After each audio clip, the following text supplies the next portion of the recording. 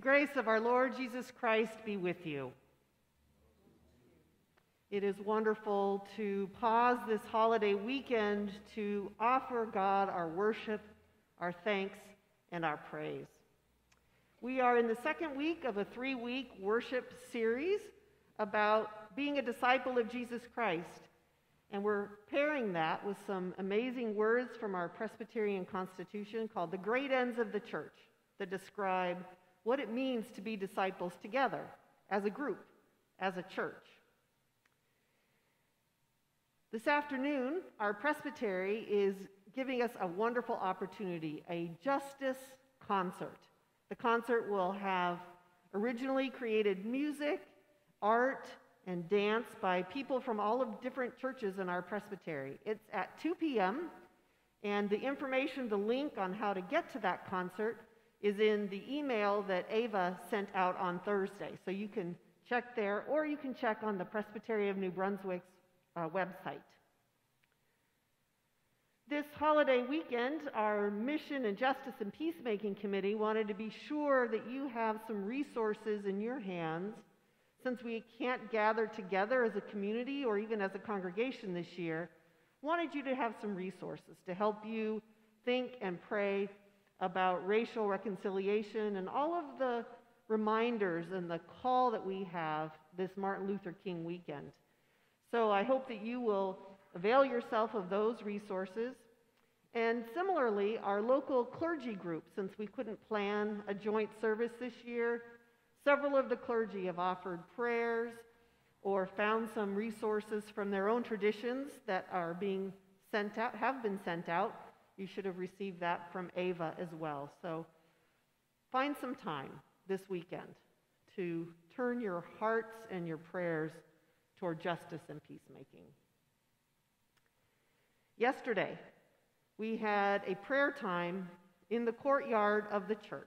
It was a time set aside to pray for our country, pray for a peaceful transfer of power, pray for hearts and minds to be healed, praying for all those who are sick with COVID, and praying for those who are grieving the loss of folks, and praying for all those who are in the battle fighting to try to make our country healthy and safe again. It was a beautiful time of prayer. If you weren't able to be there, I hope that you will lift up similar prayers on your own. Each February, our deacons send out care packages of treats and messages of love to our college students and to students who are young adults who might be working or living at home. We can't grab little hearts this year while we're enjoying coffee during fellowship time. So we're asking folks to make financial contributions. And you can do that by sending a check to the church with a memo that says college care packages or you can use the regular Donate Now button on our website and just similarly note that you'd like to support our college care package ministry. I know the young adults really appreciate being remembered and prayed for and having a little support.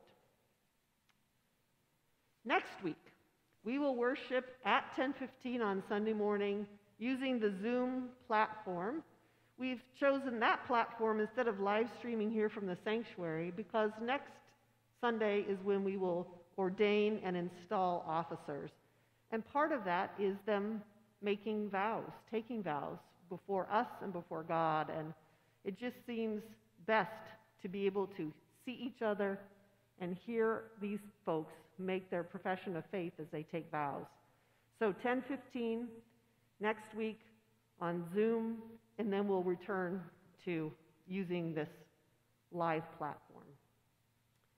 Let us worship God together.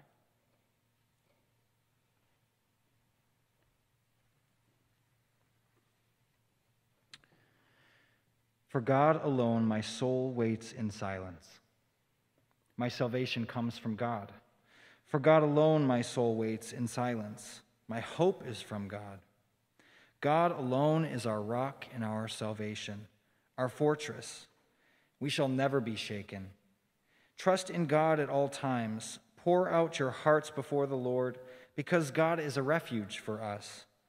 With confidence in God, let us worship the living Lord together.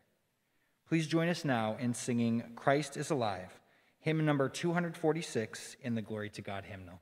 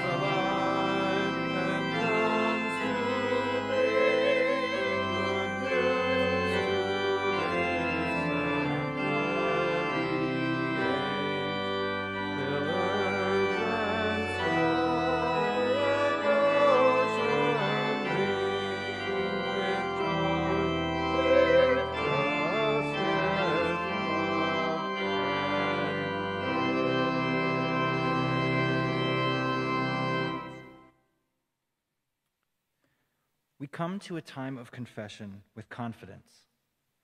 Not because we are so good that we have nothing to change, nothing that needs God's mercy. We come with confidence because God is great and our salvation comes from God. So, with humility and confidence, let us pray. Lord, like Jonah, sometimes we outright refuse to obey, to follow you. Like Jonah, sometimes we take our relationship with you for granted and want you to love the people we love and hate the people we hate. Sometimes, Lord, like Jonah, we finally come around to what you want us to do, but we do it begrudgingly. Forgive us, merciful God, for choosing not to listen for your voice and for pursuing plans and ideals that go against your will for us and for the world. Forgive us when we have bad attitudes and lack kindness and concern for others. Hear us now as we pray in this moment of silence.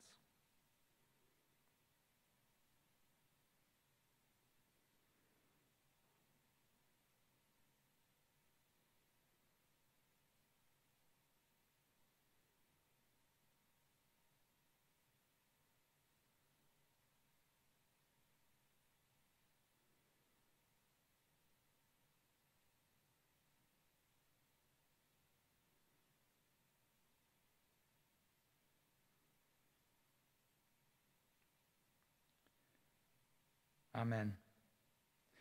In the Gospel of Mark, Jesus comes declaring the good news.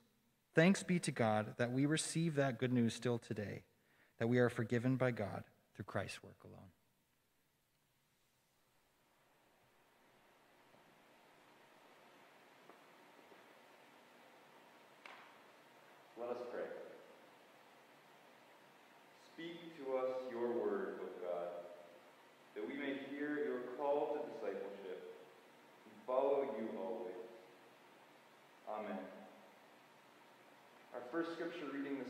Comes from the book of Jonah, chapter 3, verses 1 through 10.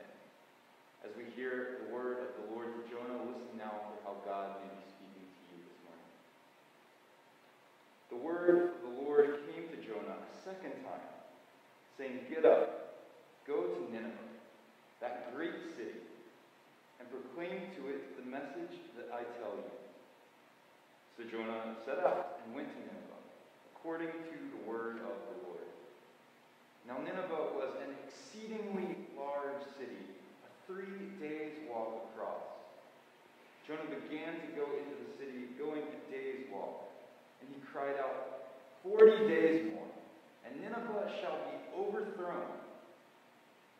And the people of Nineveh believed God. They proclaimed a fast, and everyone, great and small, put on sackcloth.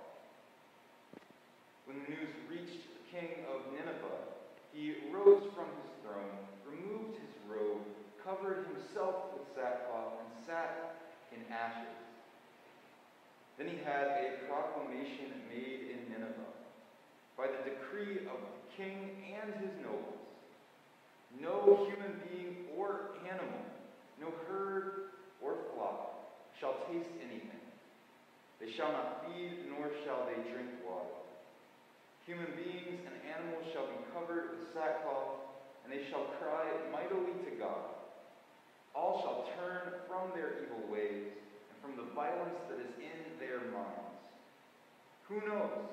God may relent and change God's mind. He may turn from his fierce anger so that we do not perish. When God saw what they did, how they turned from God changed his mind about the calamity that he had said he would bring upon them. And he did not do it. This is the word of the Lord. Thanks, Thanks be to God.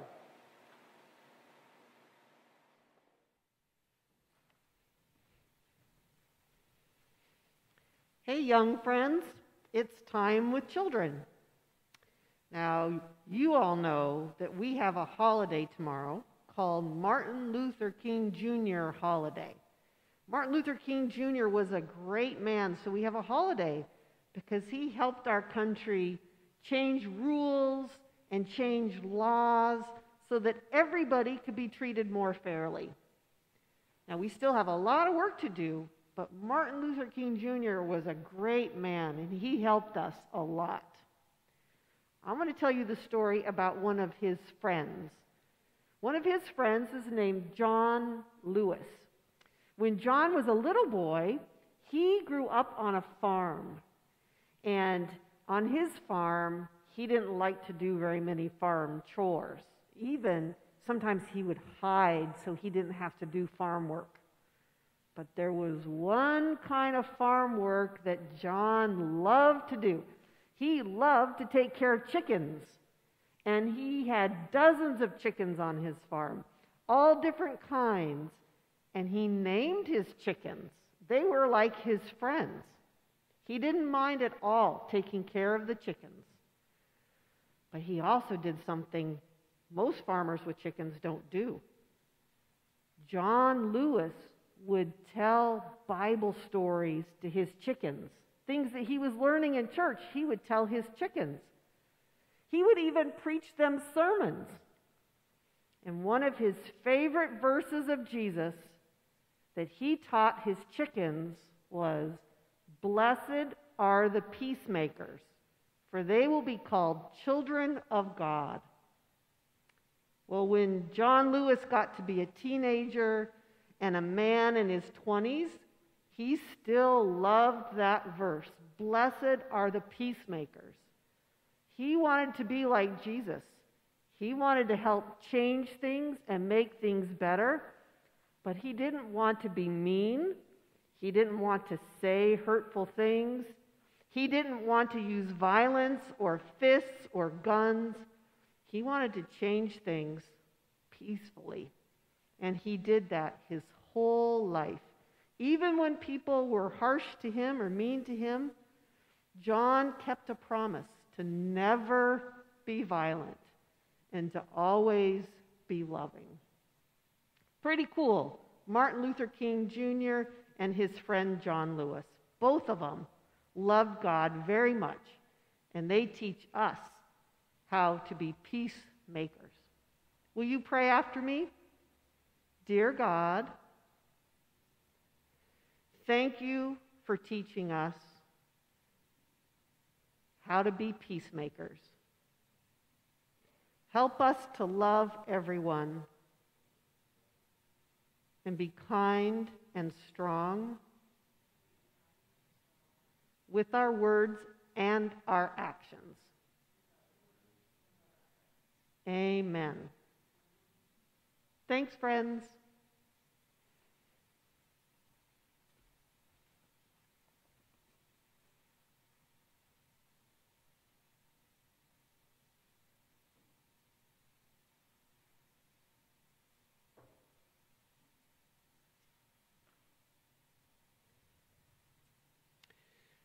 Our gospel lesson this morning comes to us from the Gospel of Mark, continuing on reading in chapter 1, where we left off last week, at verse 14. Listen for a word from the Lord. Now, after John was arrested, Jesus came to Galilee, proclaiming the good news of God and saying, The time is fulfilled, and the kingdom of God has come near. Repent and believe in the good news. As Jesus passed along the Sea of Galilee, he saw Simon and his brother Andrew casting a net into the sea, for they were fishermen. And Jesus said to them, Follow me, and I will make you fish for people. And immediately they left their nets and they followed him. As he went a little further, he saw James, son of Zebedee, and his brother John, who were in their boat, mending their nets. Immediately he called them, and they left their father Zebedee in the boat with the hired men and followed him. This is the word of the Lord. Thanks be to God. Can a leopard change its spots? That's one of those maxims where the obvious answer is no. And it's usually offered to say something like, He's not going to change. She will always be like this. Don't get your hopes up. They will never change, so you might as well accept it. When things are tough and I don't need to explain to you all the myriad of ways things are tough right now. Some of us take up the leopard as our mascot. We hunker down, expect the worst, and watch to see if we're right. We live as if we have some kind of crystal ball about the future, and we know that things that are bad will only get worse a feeling of hopelessness can descend like a rain shower. The two scripture lessons for this morning invite us to think differently, to consider that with God things can change for the better. A leopard can change, a nation can change, a person can change. Even we ourselves can change. The Old Testament book of Jonah is not a history lesson or a science journal or a miracle story, even. It's a great story meant to be enjoyed, made to make us laugh and smile. And the book of Jonah is a sermon a theological reflection on God and God's love, not just for one group of people, but for the whole world. Jonah was called by God to go to Nineveh, a great Assyrian city. And he was told to cry out against all of their evil practices, all of the evil that they were doing. But Jonah didn't want to go. The Ninevites were a superpower, and they were Israel's enemy. Jonah didn't want to go, not because he was afraid that they were going to kill him. He didn't want to go, frankly, he was afraid that God might be merciful, steadfast in love, slow to anger. Eventually, the storyteller moves to the climax of the story, and Jonah goes to Nineveh, and he does the very least he can do and still feel like he did what God told him to do. He warns the people of Nineveh, and then he goes to the outskirts of town. And lo and behold, the people of Nineveh believed God. They repented of their evil ways. Even the king humbled himself before God. He left his throne and sat down on the ground in a pile of ashes as a sign of his repentance. He removed robes of comfort and prestige and affluence and beauty and power and instead put on sackcloth, that unglamorous, itchy, scratchy clothing. Nineveh changed. They repented and humbled themselves before God. The story of Jonah ends with the listeners wondering if Jonah is ready to humble himself and repent. Is Jonah going to change? In the gospel story, we see Jesus launching his ministry. He says, The time is fulfilled and the kingdom of God has come near. Repent and believe the good news. The first thing he does is to call disciples, to call people to follow him. Now, people who wanted to be a disciple in those days, they usually sought out a teacher, a rabbi, somebody that they chose to follow. But here, Jesus is the one making the first move. Jesus is the one taking the initiative and extending the invitation, calling people to leave what's current, their current life, and to become his followers, become his disciples. It's quite amazing to see Simon and Andrew leaving their nets to follow Jesus. And then, just to make sure that those guys weren't kind of like a fluke, the outliers, like nobody else would ever really do that, Jesus goes and calls two more, the sons of Zebedee, James and John. And again, they hear Jesus' invitation, they leave their nets, they change their life, they follow Jesus. They had no clue, really, what they were getting themselves into. We read this story and we listen to it, and we know what happens later. We know the story of the Gospels, and they're following Jesus and what happened with his death and after his resurrection. And we know the story of these disciples and their role in the very earliest Christian churches as the gospel good news began to spread. We know what they were saying yes to. Their lives were changed by saying yes to Jesus. And their faith in Jesus Christ then changed the lives of other people whose change then changed others, all the way down to us. Things can change, people can change, and the change can be for the better. Just think of it. We're, we do not live in a perfect time, but think about positive changes that we've seen. We ended slavery in this country. We gave women the right to vote. We overturned Jim Crow laws. We made marriage legal for the LGBTQ community. We've held abusers accountable. We've elected a black president, and now we've elected a woman of color to be our vice president. We've begun to destigmatize mental health issues. We have more police officers now wearing body cameras so when bad and tragic events happen, other eyes can make judgments.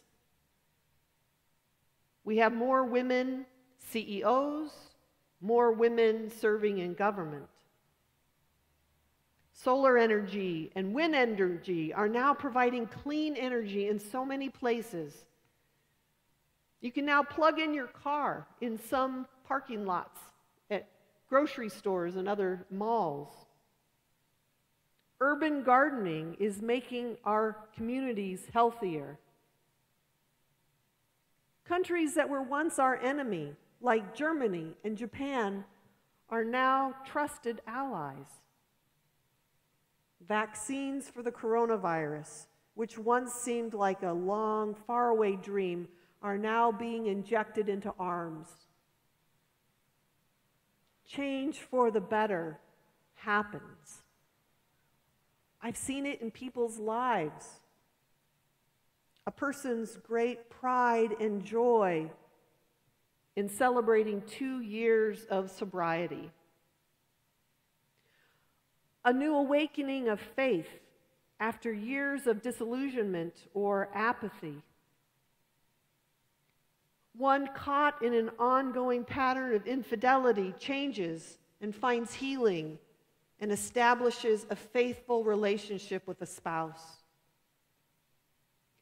A congregation formed in the 1960s by white people who were fleeing any chance of living in a mixed neighborhood or having their children go to integrated schools now has a deep impact in an immigrant community of refugees, of people of all colors and religions. A Presbyterian church musician, Sue Ellen Page, sought to address inequity for the arts in the Trenton community by starting the Trenton Children's Chorus, teaching young singers music, building self esteem, helping them prepare for college, and giving them opportunities to travel and to sing and to bring joy to others, including in the White House. A young man who grew up in a home where racial jokes were frequent and prejudice was just part of the air they breathed. As a follower of Jesus, recognized he needed to change and it was wrong. And he opened himself and humbled himself and started a ministry with teenagers that brought in people from different socioeconomic levels and with different colors of skin. Change can happen. We've seen it. I've seen it. You've seen it. God calls us to turn around, to change, to follow Jesus, to be changed. Eugene Boring and Fred Craddock, in their commentary on Mark, commented on those first fishermen, Simon and Andrew and James and John, and their yes to the invitation of Jesus to be changed. And they wrote, in reality, this is the first of Mark's miracle stories in which the power of God changes human lives. We, the church, we are a community of Jesus' disciples. We are a community of people whose lives have been changed by God and whose lives are being changed day by day by the grace of God. Part of our calling, as Presbyterians like to say, in the great ends of the church, is to promote social righteousness and exhibit the kingdom of heaven in the world. Our job as disciples includes being a transformative agent of change, of positive change in the community and in the world. We are invited to be that right where we are right now. so that our ways of relating to each other at a personal level and as a society, as a nation, will better reflect the love and justice and peace of God. Never despair, friends. God isn't through with us yet. We can change. We can be changed.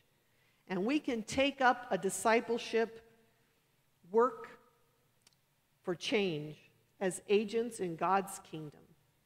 Amen.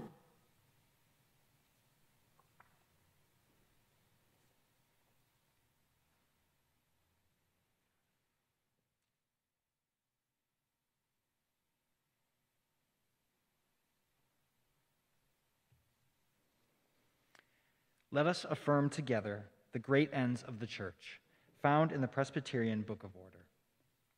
The great ends of the church are the proclamation of the gospel for salvation and humankind, the shelter, nurture, and spiritual fellowship of the children of God, the maintenance of divine worship, the preservation of the truth, the promotion of social righteousness, and the exhibition of the kingdom of heaven to the world. Please join us now in singing Lift Every Voice and Sing, hymn number 339 in the Glory to God hymnal.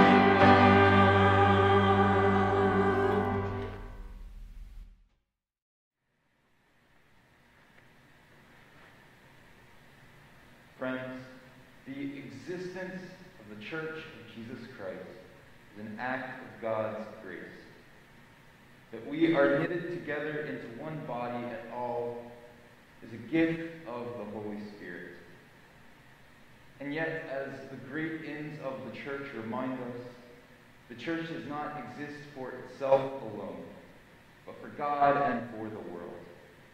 We are not only embraced by God, we are called to exhibit the kingdom of heaven to the world. We are called to show that change for the better is possible. And we do so by investing our talents, our time, and our tithes in the ministry and work during this time, we continue to have two options for giving your financial offerings. You may mail a check to the church, or you may go to the website and click the Donate Now button. The process is simple, safe, and fast. Thank you for continuing to give financially, for living out your baptism as a disciple of Jesus Christ, for sharing your time and talents, for praying, and for living your faith at work, school, and their home.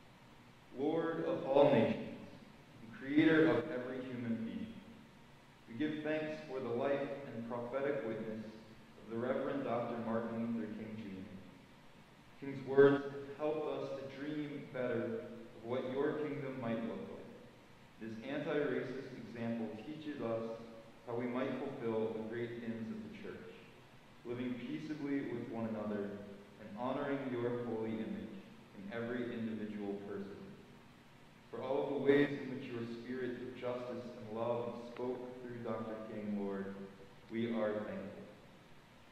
We give thanks for the rollout of coronavirus vaccines in our community and around the world, and for the frontline workers tending to the sick and working to protect those who are not.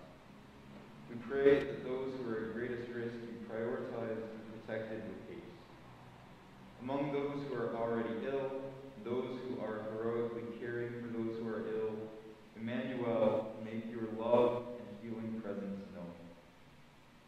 pray this for Edna Hume, who tested positive for COVID-19 in the memory unit at Brandywine earlier this week and who is experiencing symptoms.